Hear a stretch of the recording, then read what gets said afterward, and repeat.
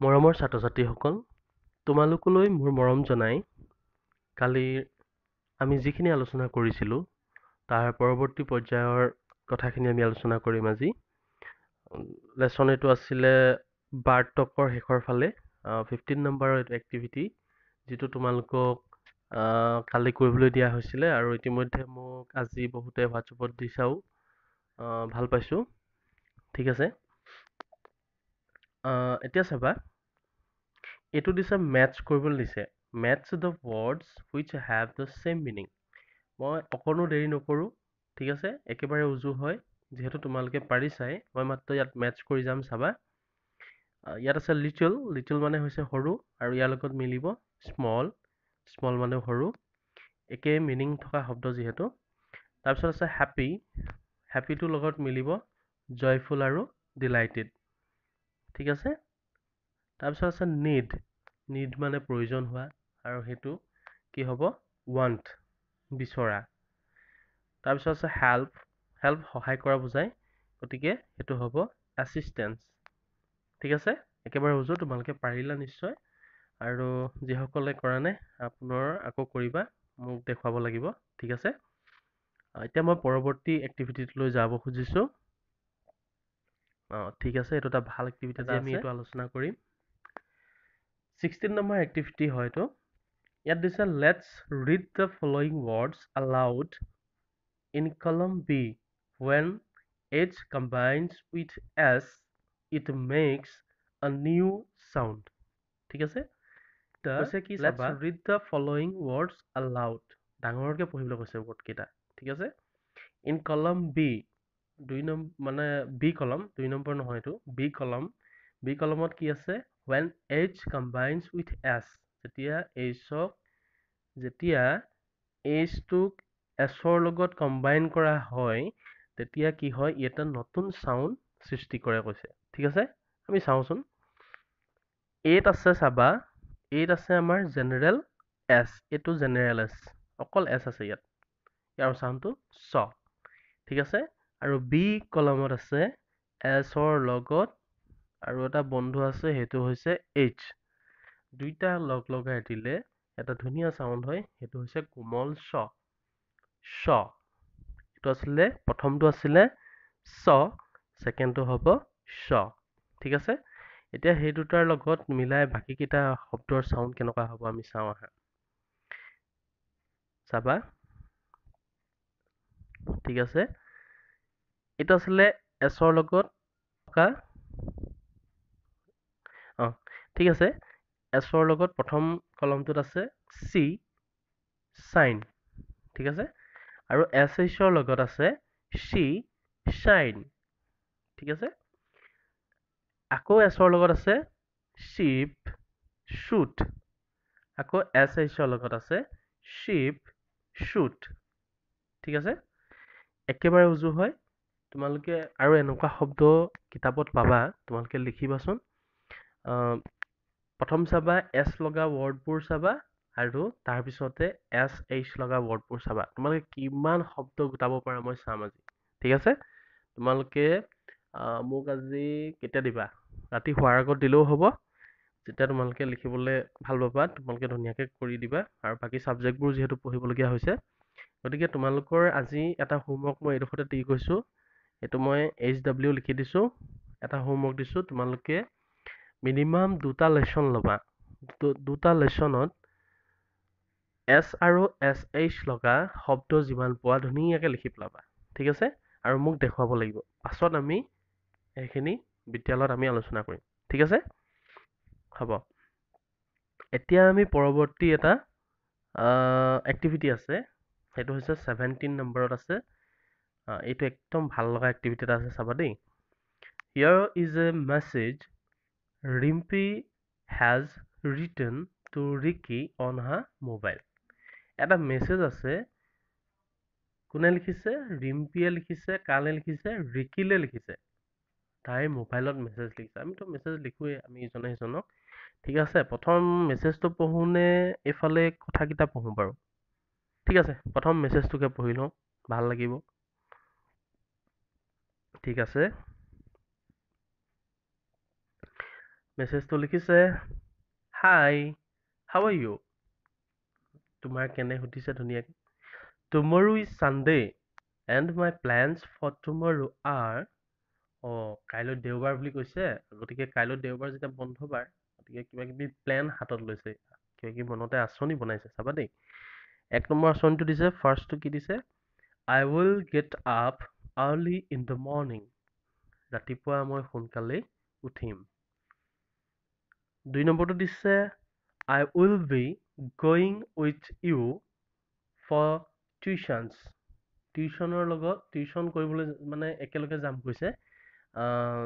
ৰাতিপুৱা চাগে টিউশ্যন কৰিবলৈ যায় গতিকে তাই কৈছে যে তোমাৰ লগত টিউশ্যন কৰিবলৈ একেলগে যাম। তাৰপিছত দিছে তিনি নম্বৰত কি আছে? Then we will play games on your computer তোমাৰ কম্পিউটাৰত গেম খেলিম। কোনে খেলিব? আমি খেলিম। একেলগে খেলিব মানে দুইজনীয়ে। ৰিম্পী আৰু ৰিকিয়ে একেলগে গেম খেলিব। ক'ত খেলিব? কম্পিউটাৰত ঠিক আছে? We will have lunch at our home আমাৰ ঘৰত কি কৰিম? দুপৰীয়াৰ আহাৰ খাম। লাঞ্চ মানে দুপৰীয়া আহাৰ তোমালোকে জানাই।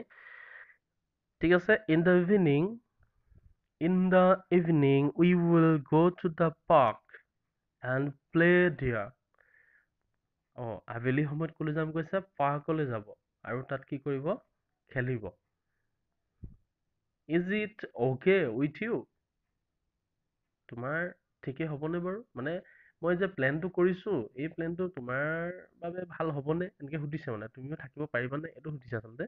এতিয়া আচল কথাটো দিছে চাবা ইয়াত গোটেই মেছেজটোৰ ডিটেইলছটো ইয়াত দিছে। Rimpi is telling Rimpi is telling Ricky about her plans for tomorrow কাইলৈৰ কাৰণে কি কি প্লেন আছে সেই প্লেনখিনিৰ কথা কোনে কাক কৈছে? ৰিম্পীয়ে ৰিকিক কৈছে। She is writing about what they will be doing during their holiday আৰু তাই কি লিখিছে? যেতিয়া বন্ধৰ দিনটো হ'ব সেই বন্ধৰ দিনা what will what they will be doing কি কৰি থাকিব ডিউৰিং দেয়াৰ হলিডে তেওঁ যেতিয়া তেহেঁতৰ বন্ধৰ দিন তেহেঁতে এনেইতো সময়টো নকটাই চাগে। সেইকাৰণে তাই কি কৰিব সেইটো এটা প্লেন কৰিছে। ঠিক আছে? আকৌ দিছে let's read a few more sentences which talk about an action that is likely to take place later on or in the future ঠিক আছে?